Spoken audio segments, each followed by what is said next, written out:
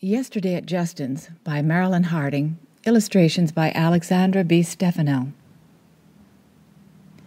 I love to go to Justin's. We always have such fun. We play astronauts or cowboys or bad guys on the run. Justin's teaching me to skateboard. I'm really not too bad. He's super good at everything.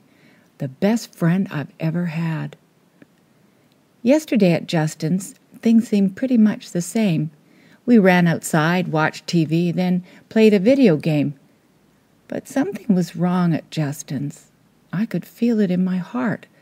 Justin's mother wasn't laughing, his brother acting smart. And when we were jumping on the beds, his mother didn't shout. She just turned away and closed the door. I couldn't figure it out. Then I said to my friend, Is your mother sick? But Justin didn't answer. He just gave the wall a kick. We went to play outside again and climbed up in a tree.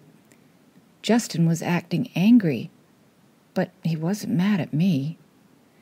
He snapped a branch and broke the twig. We watched it hit the ground. Then Justin started crying, though he didn't make a sound. I didn't know what to say or, or even where to look.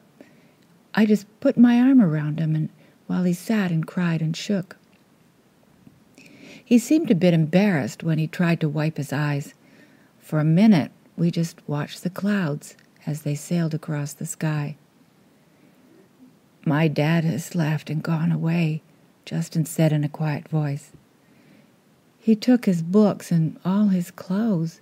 He said he had no choice. He said when we were older that we would understand. He said that it was no one's fault, but life is hard to plan. Dad said we could go and see him and he'd phone us every day, but I would give just anything for him to come back to stay. My mother said it's okay and things will work out fine, but last night I heard her crying, and I think the fault is mine. One time I heard them shouting. Dad said it was all the stress, and that kids just added pressure at a time when he needed less. I guess he doesn't love us or he wouldn't go away. My mother said that's silly. He just needs to find his way. My mom said to give it time he'd come home in the end. But Dylan's father didn't, and now his mother has a friend. I just sat and listened. There was nothing I could say. I'd have to ask my mother why parents act this way. Last night, when I was going to bed, I told what Justin shared. I asked my mom about it because I was kind of scared.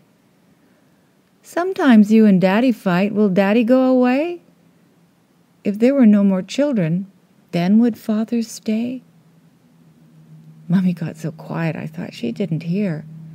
Then she put her arms around me and said, Come snuggle near. Growing up is hard to do, especially when you're young. But just because you're grown up, your growing isn't done. Mums and dads are people, and we often make mistakes. Sometimes it's hard to see the way or find the courage that it takes. Each person faces challenges they help us grow inside. Mistakes just keep us learning to balance wisdom with our pride.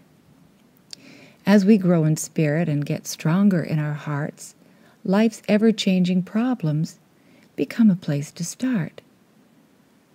In every little problem is a new beginning if we choose, and when we solve our problems, we gain tools that we can use. My heart is full for Justin, his brother, and his mom, and also for his father. Their challenge has just begun. There will be pain and sadness, and happy times as well, and how it all will turn out, only time will tell. Just remember that love guides us even when we fall and chooses ways to show us the courage in us all. Be kind and open in your heart Show Justin that you care, for the greatest gift of all is the love that we can share. No matter what our struggles or how dark our troubles seem, you children are our blessing, our happiness, our dreams. So sleep in peace, my angel. Tomorrow's a brand new day. Give over all your worries and let your heart show you the way. Yesterday at Justin's, I felt so very sad when I saw him crying and heard about his dad. I know his dad still loves him. I don't think that goes away. And no matter how things work out, it all will be okay. And whatever happens, I'll help him understand. I'll be there when he needs me and be the best friend that I can.